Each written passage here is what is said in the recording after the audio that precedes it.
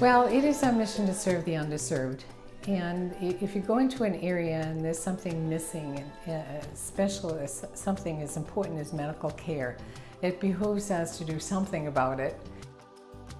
So at the Bucyrus Campus Clinic, we provide primary care services to all ages.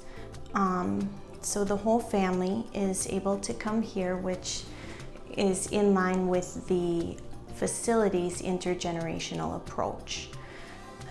There were a number of gaps, um, particularly I think um, to have specialized services for people with dementia.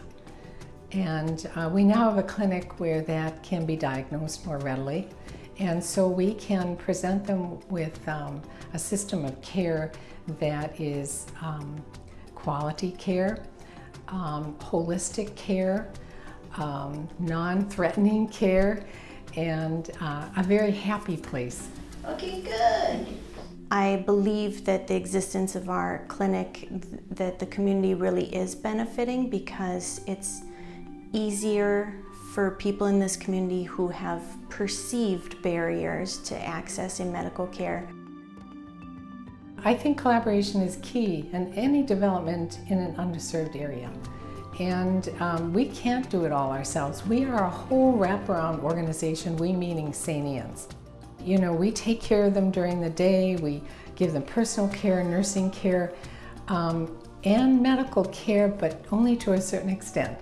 Um, that's where we need the, the bigger system, such as Aurora, to take over and provide them with this uh, continuation of this wraparound care.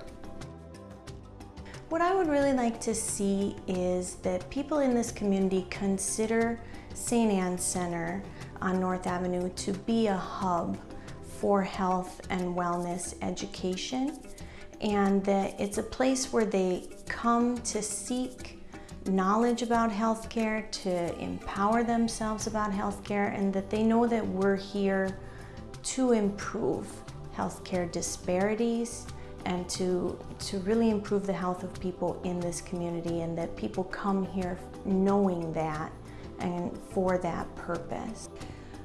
Well, the Better Together Fund funded this clinic. We could not have built it without the 250,000 that we received from Aurora, so, or that, that fund. And I think because of that, we've helped to stabilize the medical delivery of care in our community, in our neighborhood.